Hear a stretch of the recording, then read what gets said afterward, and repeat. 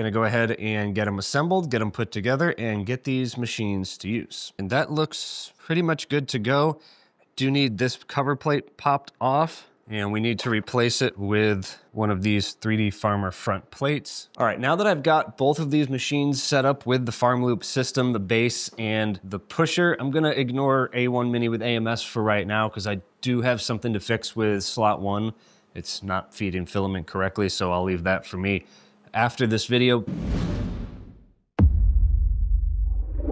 What I'd like to do now though is get into Orca Slicer, get something set up and then show you how I go about doing this with Orca Slicer because it's different with Bambu and Orca Slicer. If you're running Bambu Studio, you're pretty much good to create your print files however you normally do it, download that sliced plate 3MF file and import that into FarmLoop. And then once FarmLoop does its thing, you can download it right back from FarmLoop and import it, open it in Bambu Studio and send it off to your printers just as you would send any other print file. If you're using Orca Slicer though, like I mentioned in the video for the P1P, you do have to pull the SD card out. So I pulled the SD card out, threw it into a little SD card reader that plugs into my computer, and was able to just drag the 3MF file from FarmLoop's website onto that SD card, plug it into the machine, and everything is good to go from there. So that's how I'm gonna be doing it. If you use Bambu Studio, like probably most people are doing with the Bambu printers, you just download the file, open it like you'd open any other file in Bambu Studio, and send it like you would send any other file. Let's hop over to the computer and see how that's done. So what we need to do first is open up Bambu Studio or Orca Slicer, whichever one you choose to use. For this purpose, since I have black loaded in there, I am going to just run with the dumbbells. So one thing to keep in mind with this system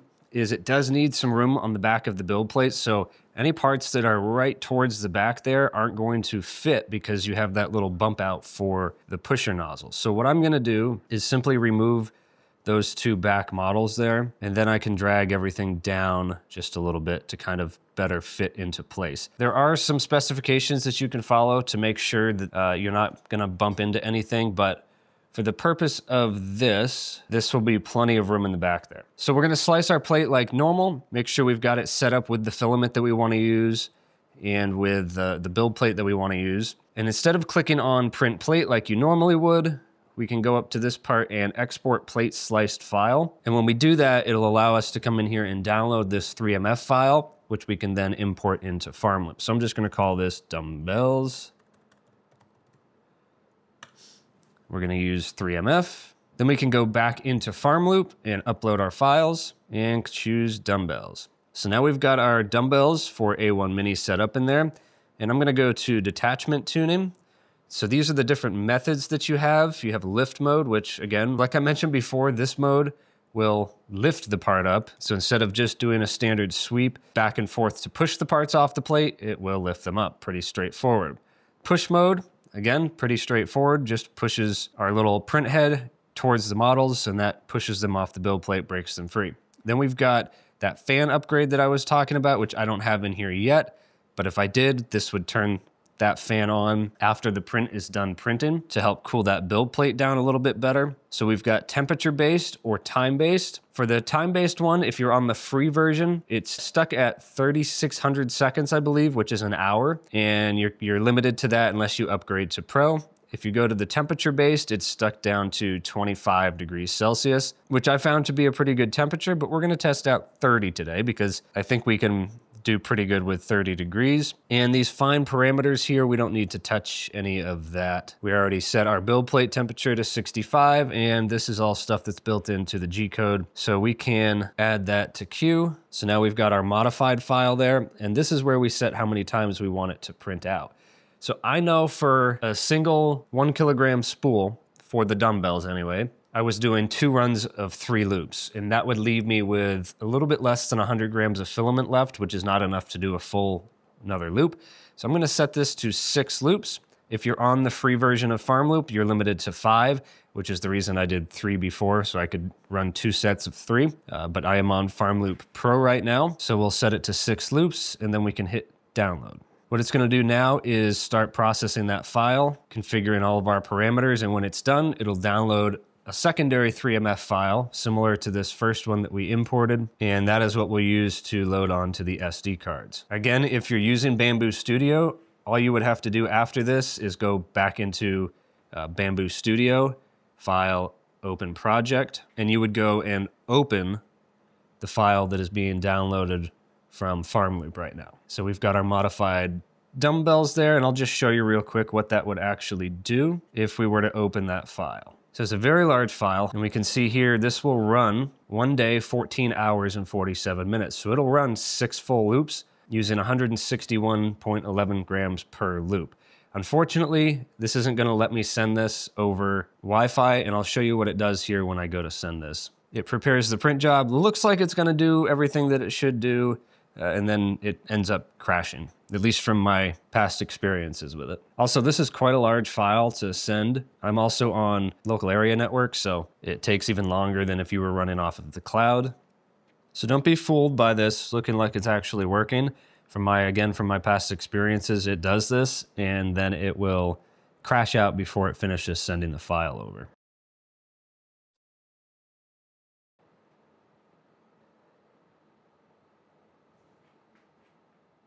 All right, I lied.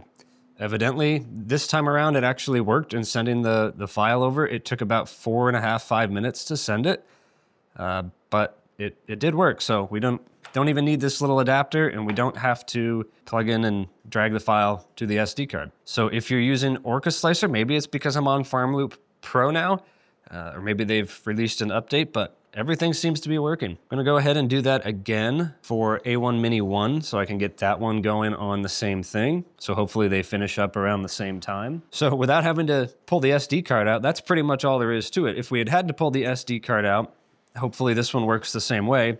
Uh, I just have one of these little adapters, plugs into my computer through USB-C, and it's got the micro SD card slot right there. This is all set up now, doing what it's supposed to be doing. We're heating up the bed to 65. It'll heat the nozzle up to its normal temperature. And this is the exact same thing you'll see when you send any print to the printer. It just goes and does its normal thing like you would expect. So that is FarmLoop for the A1 Minis. They will continuously print out for the next day and a half, almost two days, and pretty much run through both of these spools. But at the end of the day, I didn't have to do anything but that initial setup right there. And I can just keep running this. In a day and a half, I'll come back and replace the two spools on here and restart that same exact file that we just sent over. The one for A1 Mini 1 over here that we just got set up is still sending. That's gonna take five or six minutes. But again, once it's sent over to the machine, there is no more messing around with it. I can just come back, press start, and let it do its thing for the next two days. And this cycle just continues over and over again while you can do other things in the print farm. Instead of me having to come down every six and a half, seven hours to pull the parts off the build plate, restart the file, this system just does it all for you. Now, that fan attachment should allow me to cool the stuff down a little bit faster, cool the build plate down a little bit faster for that matter. So what might take an, a day and 14 hours right now, once that fan system is installed on here, it could potentially save us maybe half an hour on each of the loops so if we've got six loops going, we could save ourselves a significant amount of time over the course of days printing these files out. I will also have a link in the description below to my buddy Sam over at Samcraft's file that he designed to put on the front of your rack so you can mount a little bin to it. That way you don't have to have bins on the floor. Everything is just kind of set up in front of each machine. And I believe he's got that available for free on MakerWorld. So that is down in the description below. I have farm loop links down in the description below as well if you want to get this system for yourself. If you found this video useful and want to see more videos like it, I've got another one queued up for you right over here somewhere. And if you want to see more videos like it, be sure to hit the thumbs up and subscribe button. That is all for this one. I will see you in the next video, folks. Take care.